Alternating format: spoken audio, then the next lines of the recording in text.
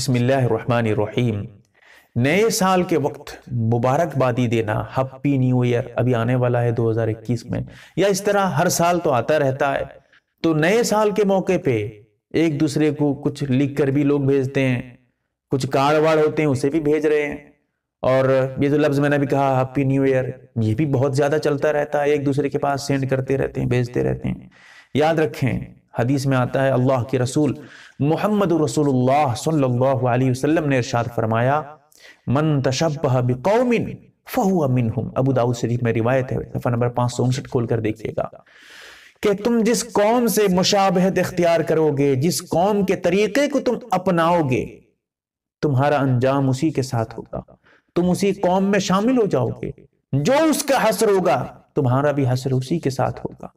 इसीलिए ये जो आज, ये भी एक बेवकूफ़ी है, नया साल मनाना। सिर्फ़ बेवकूफ़ी, कुछ नहीं, इसकी बुनियाद कुछ नहीं है।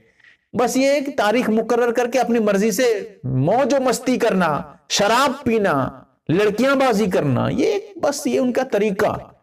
लेकिन आज मुसलमान, अफसोस, सद अफसोस, मुसलमान भी आज नए साल मनाने पे लगा हुआ है। अपने बच्चों को नया साल के बारे में सिखाया जाता है कि नया साल में ऐसे करो, वैसे करो। अच्छा कपड़ा पहनो।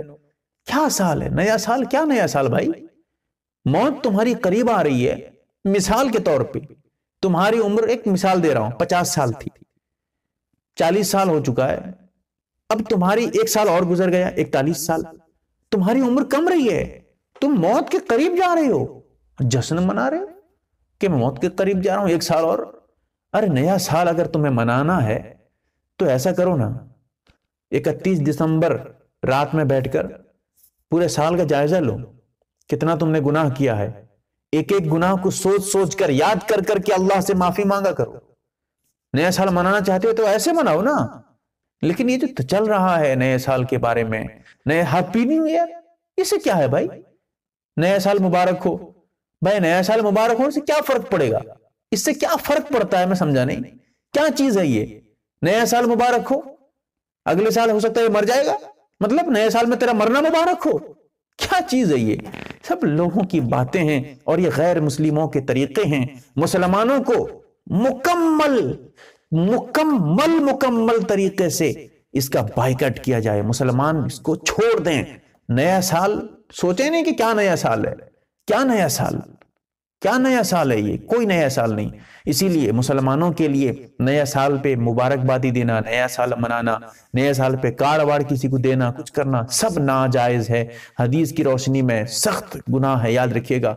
अंजाम भी उन अंग्रेज़ों के साथ जो ईसाई हैं, जो खैर मुस्लिम हैं, उनके साथ आपका हसर न हो जाए।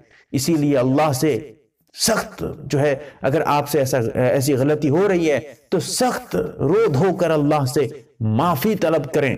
आइंदा कभी ऐसी गलती दोबारा नहीं करें। अल्लाह ताला हमें समझ दे, गुनाहों से अल्लाह ताला हमें बचने की तौफीक दे। आमीन।